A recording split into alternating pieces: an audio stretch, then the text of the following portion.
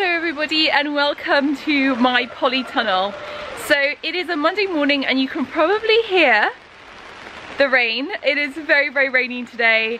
We've had a horrible storm that went on for pretty much a week here in Northern Ireland. We're right at the north coast, so we really feel any storms quite strongly here. But today it's so much warmer. It's just raining, so that's fine. So I have been inspired to get going with my seed sowing. So I have my little packet of seeds that I need to sow this month. I've got a whole combination of things in here. I've got broad beans, obviously, they need to be sown now. I've got oriental salad, uh, baby leaf salad, uh, radishes, kohlrabi, pak choi, um, lots of delicious um, things that I'll be planting actually out in the polytunnel. And these will be um, our hunger gap filler. So I'm really, really excited to get going. This is the first sowing of the season, so I mean, it feels really momentous, really exciting. It feels now that maybe spring is here.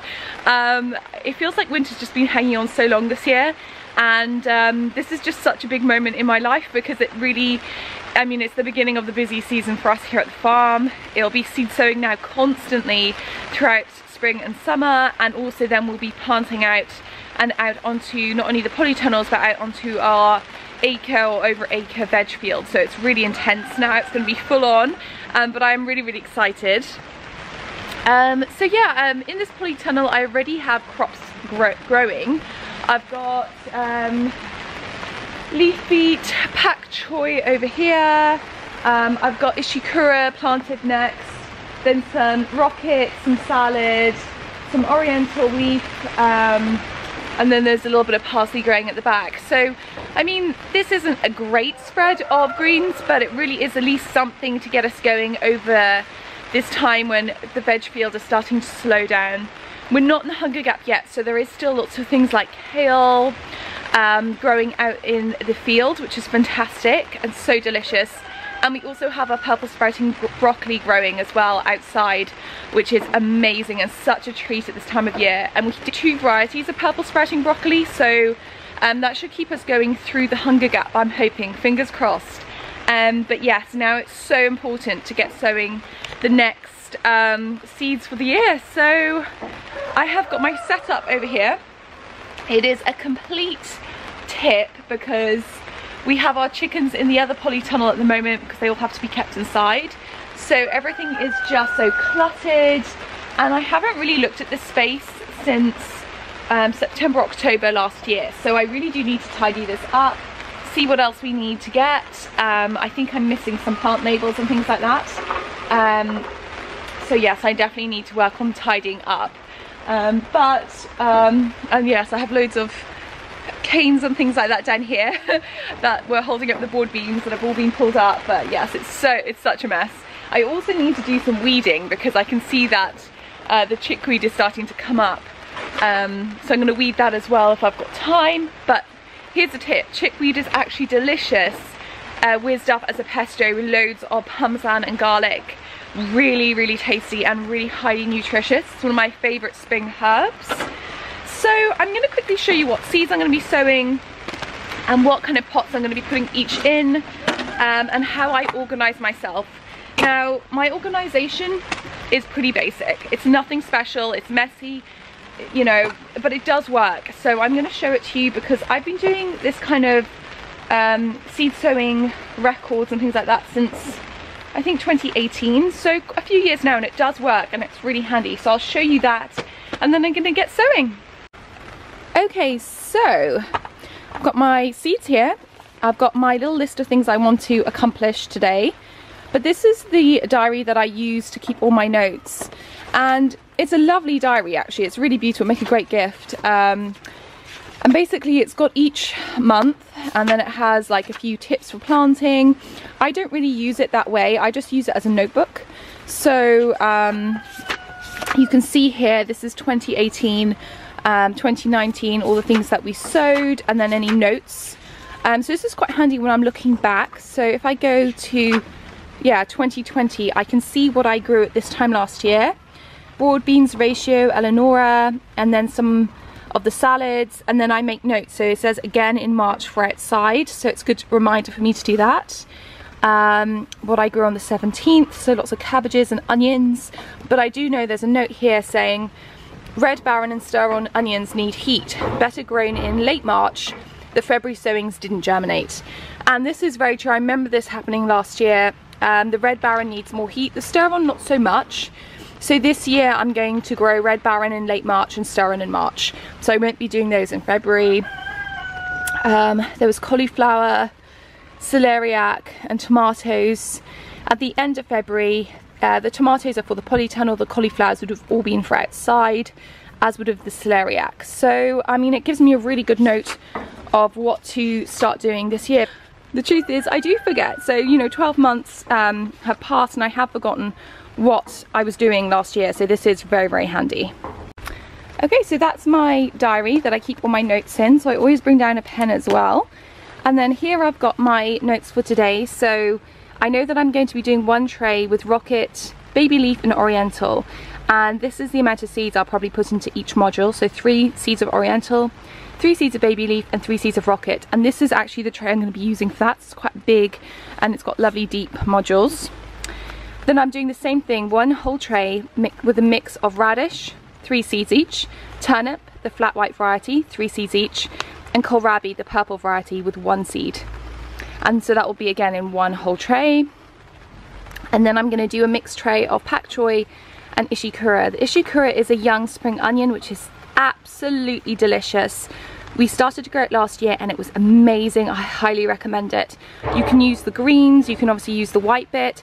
It's really, really good. And it does, it's pretty hardy in the polytunnel and it did survive through hot weather as well. So I'm very fond of this variety. I'm gonna do three seeds in one module and one seed of the pak choi. And then of course broad beans. And for broad beans, I'll be using larger trays like these kind of ones. Um, we just reuse, these I think are from a you know, reused from something we bought from the garden center. So I'll just, yeah, I'll just use um, anything like that, something a bit bigger, because broad bean seedlings are pretty big, so we'll need something like that. So that is my jobs for today. This is what I have all my seeds in. This is a photo holder. Um, I'll show you my whole setup for storing seeds later if you want. Um, just let me know in the comments. I can do another video on it. But I've got all my seeds that I would like to sow. So I've actually got so cosmos and sweet peas um, here. So that's flower seeds. And then everything else is in here. So I've got my radishes. These are my broad beans. Some of the varieties are different this year because, I mean, with Brexit, we just had to take what we could find. Um, there's a picking mix of lettuce. There's oriental, um, oriental greens another oriental mix. I do love Tamar Organics, but we couldn't get from them this year, so these are last year's seeds. This is this year's seeds from Germany. Um, got some mixed leaves. These are my salad onions. I love those. More radish, some wild rocket, salad rocket, pak choi, and this is the kohlrabi that we really like. This is the Azure Star and it does pretty well in the polytunnel. It does need to be so now and if there's too much heat it will bolt. So bear that in mind depending on your climate. Um, and it's the same with the oriental. This is a good early salad leaf um, but you know with any heat this will bolt. So you just need to bear that in mind. Same with pak choi. Um, but I'm hoping that if I plant them now I will get um, a little bit of harvesting from them before it gets too hot so that's my plan with that the um, the broad beans are something that, you know, they grow really well inside. These will start um, producing pods in early summer for us. So it would be like end of May, beginning of June, um, all through June, July, we get um, broad beans. They're delicious. We've done them for so many years now and they work well. I do sometimes plant these outside, but they're always, I mean, they always I guess a bit tired outside because we live in a windy climate and a much colder climate than for example the south of England where they would really flourish outside. Ours really do need a polytunnel so that is all the seeds and I'm gonna go and get sowing now. Okay so I'm sitting here with my tray and I'm ready to get sowing. I'm gonna start with the tray of rocket, baby leaf and um, oriental mix. This one here has Bigella which is a green oak leaf, Piro, which is a crisp green oak leaf, and Red Salad Bowl, which is a red oak leaf. Um, so that's a nice little mix. This is from the brand Demeter. I've also got this packet which has some seeds left. It's the Tamar Organics mixed leaves. This is quite similar to the picking mix, um, but from my memory it does have, um, I think it has got more of a classic cut and come again, um, like a baby leaf as opposed to the oak leaf. Um, so I might plant both of these because I, am really fond of the Tamar organic variety. I just couldn't get any because of Brexit this year, so um, we're going with Demeter this year. Then I'm going to go for an Oriental mixed salad. And I'm going to go for Salad Rocket. This is our packet from last year. If I can, I try and use up the seeds that I purchased that year in that year. So the seeds are really fresh when I buy them again the following year, if that makes sense. Um, I think with seeds, really you want to use them within two years max. Um, but um, this salad rocket from last year will be fine, so I'll use that. Um, yeah, so I've got all the rest of my seeds in this lovely little plastic photo case. This is so handy because on rainy days I don't have to worry about the seeds getting damp um, and if I do forget to bring these seeds home and they stay out in the polytunnel, it's not the end of the world because they're all sealed in and they don't get damp and, and destroy the seeds.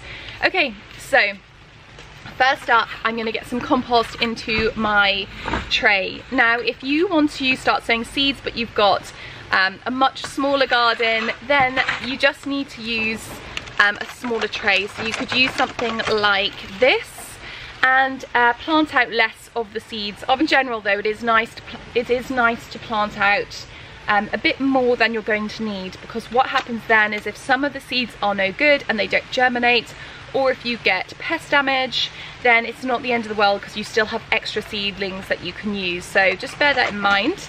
So yeah I'm going to fill this up now and uh, get sowing the first sowing of the year.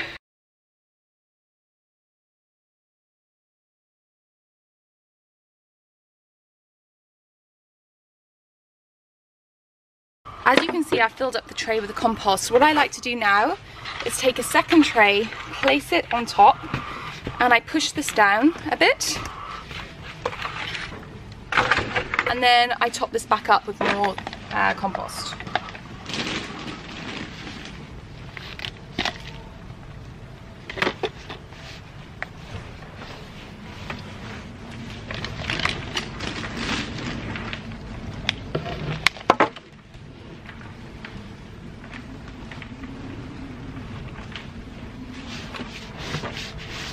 Do now is get my fingers, I use three at a time, and I push them into the compost like this. And what that does is it creates a nice deep hole for me to plant my seeds in, um, and then I just cover them back over with more compost. Nice and simple. Okay, so what I'm gonna do now is I'm gonna plant, I'm gonna sow out my seeds. So these are my rocket seeds. They all look beautiful, ready to go into the soil. And um, start on this side here. I'm gonna try and get three seeds per hole here. It's easier said than done because the seed's are obviously tiny um, and my fingers are cold, but I'm gonna try my best. Um, you can sow one seed if you want, but I think with things like rocket, it's actually better when you multi-sow them. Um, just because they're such small little plants and actually they, they're quite happy to be planted out in a little bunch of three. It does them no harm. And because with rocket you end up sort of cutting it back anyway, um, when you harvest it. I find this just gives a better harvest. I'm actually doing quite good getting three in. I wasn't sure my fingers were going to cope, but I get, um, is it called Raynaud's on my fingers where the circulation cuts off from the tips of the fingers. It's actually really horrible. Um, because I've got an autoimmune condition, I do get that, and it's horrible. Um, but I do have amazing gardening gloves, which I adore. They're these um, Skytec gloves, the Skytec Argon. They're amazing. They're waterproof and they're thermal. And I wear those throughout my day when I'm going about farm chores and that kind of thing. Um, but unfortunately, when it comes to sewing, you have to get your fingers out. So, but I think my fingers are doing good. Yeah. So I just have to bear this in mind. I want to do a third, so I think we're going to go, yeah, I think I'll probably go as far as there. Away doing this kind of job, I do love to listen to a good podcast because you do have to sort of really slow yourself down and become quite meditative um, when you're doing this, which is good. It's actually a really good um, way of keeping healthy in the mind, I think. Gardening is a very good thing to do for the soul and I mean, there is nothing like connecting back with the soil, with the seeds, watching them germinate. I mean, this is to me what life is all about. I um, couldn't be happier than when I'm down in my polytunnel the sound of the rain. Um, I mean, it's just lovely. Also, I'm particularly happy today because the children are being babysat. So um, I'm feeling very, very happy today. okay, so I think I have got enough of my rocket done. So I just put the rest back in my seed packet. And I'll try and get this find I think. And then of course I'm going to label as I go. I need to buy more of these um, labels because we're all out, but I've got a few to tide me over. So I'm just going to write um, what I've sown. Sometimes I will write the variety, especially if it's um, in the case of the broad beans or the tomatoes, obviously it's really key, write the varieties. And then I always put the date that I sowed. That's really important as well, especially with, if you're successionally sowing um, or you've got lots and lots of seedlings, it's really good to know what date you sowed them on. And then also, if you find things haven't come up, if you look back on your date, you'll know that, oh, actually, I've only sowed, I only sowed that two weeks ago. It needs a longer germination time, or it might give you an indicator that actually your seeds are dead. So I'm gonna just fill that out now and pop it into my tray.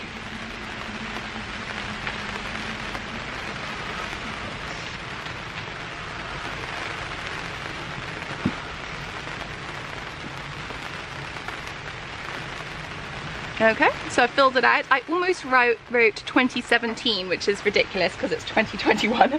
Um, you know what I was thinking. So, on to the next bit of the tray. I'm in the center part now, and I'm going to go for my, I think I'm going to go for Oriental mix. So I'm going to get that in, and then when I've done that, I will put in the um, baby leaf, and then I will see you in a bit. Okay, so I have finished up my tray. I have topped it up with compost again, so all the seeds are snuggled into their new bed. It has also stopped raining, which is fantastic, so you can probably hear me better now. Um, I'm going to water these in now. I'm going to give them a nice sprinkling with water, get them really well saturated, and then I'm going to place them down the center of my polytunnel. Now, usually I would put these um, trays of seedlings, trays of seeds um, on top of tables off the ground because the ground can be quite cold. But um, I have to wait for my husband to bring down our seedling tables which are somewhere on the farm. I have no idea. Um, so for now I'm just going to place them on the floor but I will be getting them off the floor very very quickly. So just bear that in mind it's still very very cold at the moment so you will want to place your seedlings off the ground somewhere nice and warm um, so all your seeds can germinate and the seedlings can get really nice big and healthy Okay, so now it's time to move on to our broad beans. Now, the broad beans are slightly different in that you need to plant them in bigger pots and also nice and deep modules, as you can see here, because broad beans will have um, bigger root systems. They're a much bigger uh, seedling than something like an oriental salad seedling. Now, with broad beans, they like to be sown about two inches deep in the soil, um, and I'm only going to be planting one seed per um, module here. So I'm going to grab my little box again and find my um, broad beans. Right. So these are my broad beans. They are the hang down variety. Everything is in German um, on this packet um, because we had to buy them from Germany this year because of Brexit. Now, I don't know how many seeds are in this packet, 25 which I think will be enough. I mean, I've got three, six, nine, ten. So nine times three is 27, I think. Um, so I think I, I sowed a lot more last year. I can't quite remember. This is why taking notes is so important because at the time you think you're remembering, uh, well I don't anyway, I never remember. because the year is quite long and you know we plant so many plants plants out veg plants out that I do just forget so taking notes as you go is so handy and I'm definitely going to try and be better this year with it now these are my broad bean seeds as you can see they look just like broad beans that you would eat but all nice and dry and shriveled up and I'm going to put them into the pot. Now this is quite a fun thing to plant with kids because the seeds are really nice and big and chunky and they can really see that it looks like a broad bean. So it's a fun one to do with your kids. But I don't have my kids here today so I can just get them all done on my own which I'm not complaining about. Mm, looks a bit dodgy. If I have some extras, I might take some to do with the boys later. Kids love watching seeds being sown and watching them germinate and it's so fantastic for them to learn how to do this as well. Um, so if you do have the time, I do recommend getting your kids involved where you can.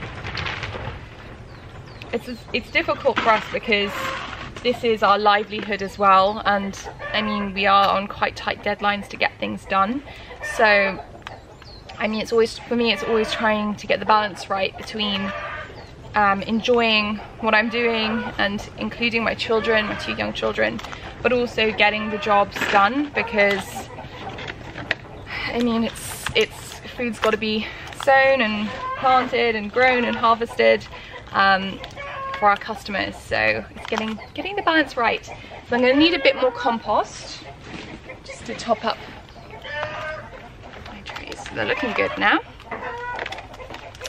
Okay, so now what I'm gonna do is I'm going to label these. I'll have to label each separate one because I've got three of these and I think I can get another, at least another one of these um, out of that packet. So that's fantastic. Um, so I'll get that done and then I'll be back. My broad beans are now done. I'm flying along this morning, which is fantastic. And it is time to get out our next seedlings. So this tray that I've got set up here, you can't really see, but I've just got another large tray. Um, I'm going to put in radish. The variety I'm using is Radish Rosa, which we've used many a year here. Um, I'm going to use, oh the other one I do like is Radish Rudy.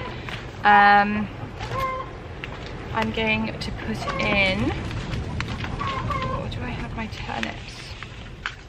I'm going to put in my kohlrabi azure star um, and I just realized I don't have my turnips with me. No!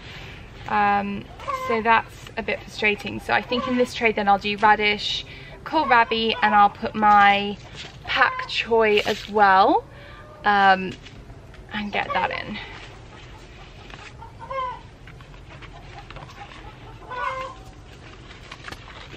I wasn't as organised as I thought. so then I'll do the flat white turnips and I'll do my ishikura then another day, that's no problem. And then I can get my radish, my pak choi and my kohlrabi um, done into this large tray here. Again, I'm just dividing this tray up into three. Each of the modules, I'll be planting a couple of radish, um, one pak choi seed and one kohlrabi seed. So I'm gonna get going with this now. I'll just tilt the camera down for you so you can see. There we go. Okay, let's start with kohlrabi. It feels so good to be sewing again. It really, really does. Um, it's, it's almost quite surreal in a funny old way. Okay, so apparently we have 60 seeds in here, but I mean, it doesn't look like 60 seeds, but that is the kohlrabi seeds there. The lovely little round, um, lovely dark brown seeds. So let's get going.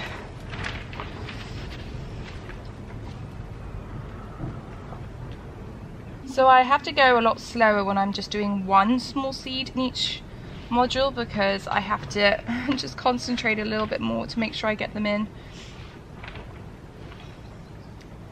These kohlrabi always do really well in the polytunnel and they do kind of fill in that hunger gap time for us quite well. Um, but it is so um, year dependent because last year we had that incredibly hot late spring which completely destroyed a lot of our um, spring sowings. Um, so, I mean, you've just got to really be aware that, you know, sometimes things are out of your control a bit. But in general, our weather here tends to be cooler, um, slower to get going. So I kind of work within that parameter. But, you know, you can do the same thing yourself depending on what your climate is. Because um, not everybody is going to be, you know, planting pak choi and things like that right now. I mean, it just depends. And also, again, for polytunnel sowing, um,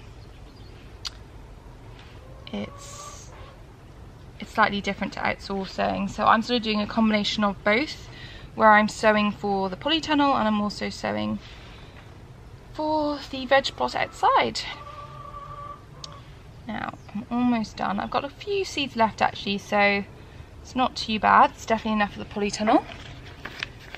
But I do need to check to see if we'll have enough to go outside because we plant this on quite a big scale out in the field as well. So yeah, that is my kohlrabi done.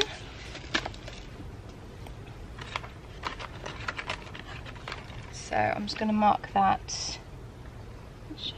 I think I got as there, maybe? No, I got we go. Um, I will do some radish next. These radish are perfect for sowing in spring because they like the slightly cooler temperature um, they germinate really quickly. Again, a great one to do with kids. And I do love radish. They are fantastic. They're nice to sow successionally as well, so you get um, a nice um, crop that comes over a course of weeks as opposed to all in one day, which can happen with radish. Um, and yeah, the, the minute the weather gets hot, you'll find that your radish will start bolting or get really, really hot which isn't ideal. I mean, some people don't mind it being really hot and spicy. I don't really, but I mean, it's not how radish really should be to be perfect. So this is a nice little crop that I know will do really well. Um, I think I'm going to do two seeds.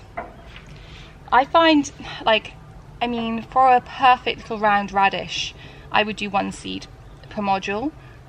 But you can also multi-sow them um, like I'm doing here and you get slightly different shape on the radish, maybe not so perfectly round, but you do get two healthy radish plants and sometimes that can be just the ticket.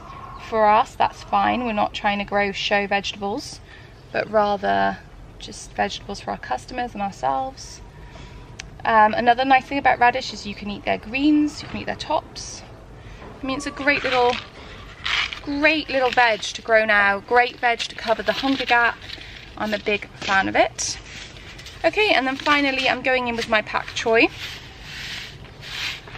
Wait, I'm going to try and get one seed in because this is a little bulbing plant. It has that lovely gathering of leaves and that sort of bulb-like formation. So this isn't going to be too happy if I multi-sow it. It's not going to like that. So one seed in.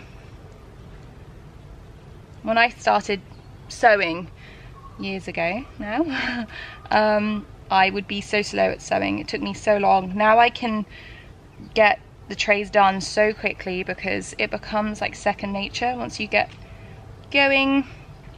And I love that with gardening. Every year you learn something. The mistakes are just as valuable as the wins.